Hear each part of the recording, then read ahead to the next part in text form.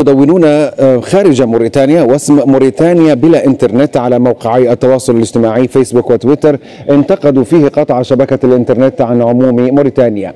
واشتكى المستخدمون من انقطاع خدمة الانترنت في عموم البلاد بعد الانتخابات الرئاسية التي شكك بعضهم في صحتها.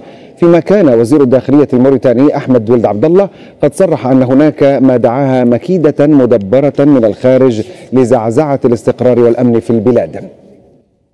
وقد انقطعت خدمة الإنترنت عن كامل البلاد بعد ثلاثة أيام من قطعها عن الهواتف المحمولة. ولم تعرف أسباب قطع هذه الخدمة أو المدة التي سيستغرقها الانقطاع.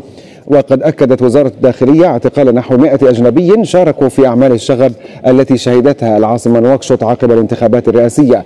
وطالب المعارضة باتباع الطرق القانونية للطعن في الانتخابات.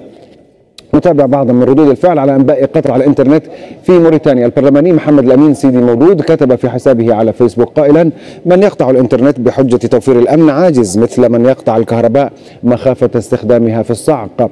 الناشط محمد فاضل حميلي كتب في فيسبوك عن الموضوع كذلك ووجه رسالته للمغتربين. القضية واضحة أيها المغتربون لأنه لا أحد في الوطن سيقرأ ما نكتب. هناك إصرار من أطراف معينة على زرع الخوف وإثارة القلاقل ترتيبا لأمر خطير. لذلك قطعوا الإنترنت عن الهاتف المحمول ثم أتبعوه باللاسلكي والله المستعان. أحمد عبيدي قال على الدولة ألا تتساهل مع أي محاولة لزعزعة الأمن وإثارة الفتن والقلاقل داخل الوطن. ولو تطلب ذلك منها قطع الكهرباء مع النت والعودة إلى أيام اللمبة والسندل أي الشمعة. ويقول الوطن أولا. أما الاقتصادي الإمام محمد عبد الله فقال ثلاثة أيام وموريتانيا مقطوعة عن العالم الخارجي عقب انتخابات رئاسية مطعون في نزاهتها.